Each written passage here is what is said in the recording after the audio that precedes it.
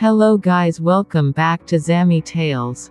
I hope you are all tuned into this amazing story, yet shocking and suspenseful.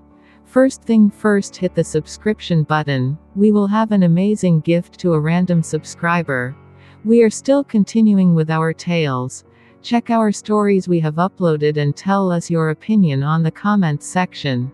We really do appreciate your support listening to our stories. Stay tuned. Today we will be heading to Africa to a country called Congo. We will be narrating a true story about a woman in Congo called Alphonsia. She got married at 17 years old and by the time she was 18 years old she was blessed with six children.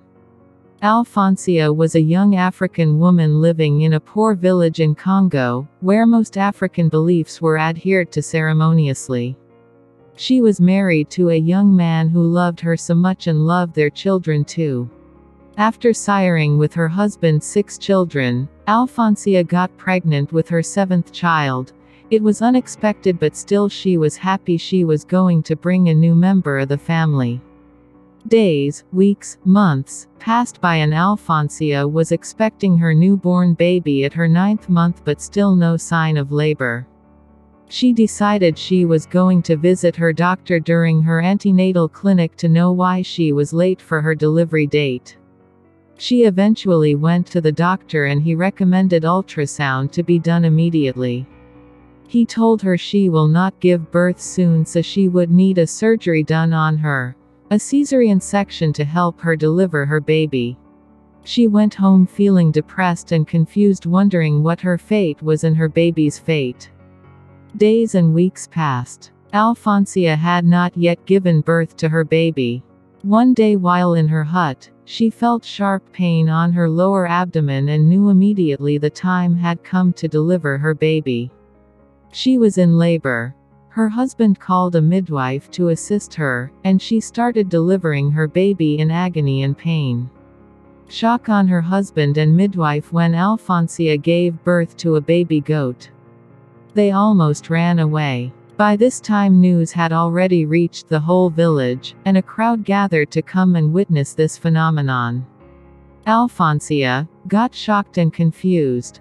ITVWA's breaking news in the village and almost the whole village came. Journalists were called to come and interview Alphonsia, a doctor was called to confirm this.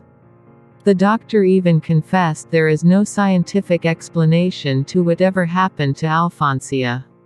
Her husband left in disappointment, he left her with her six children. The whole village isolated her in every way possible, and did not want to associate with her. Alphonsia was left to take care of her six children alone, she became a single mother.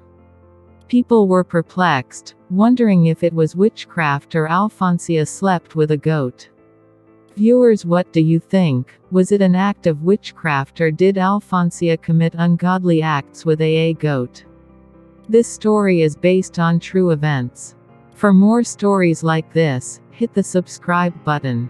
To get notified when we upload a new story. Thanks a lot for watching.